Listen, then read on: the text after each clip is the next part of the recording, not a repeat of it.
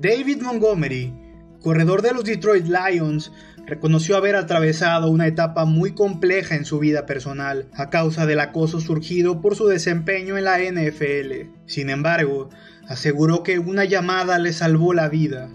Con motivo del Día Mundial de la Salud Mental, Montgomery reveló a Sports Illustrated que sufría de constantes ataques de usuarios de la liga virtual Fantasy Football cuando aún formaba parte de Chicago Bears.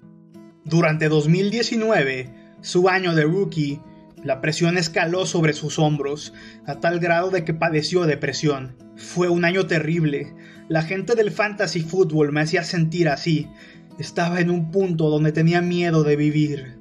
El running back de 27 años confesó que en un momento clave, en que pretendía atentar contra su vida, una voz lo hizo recapacitar de inmediato. Lejos de recibir una nueva crítica, su sobrino le llamó para expresarle todo el amor que le tenía.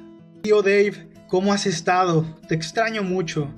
Fueron las palabras de su ser querido, quien luchaba contra la leucemia, que es el tipo de cáncer que ataca las células sanguíneas. En cuestión de segundos, y con una oración tan sincera, el joven consiguió impedir una posible tragedia.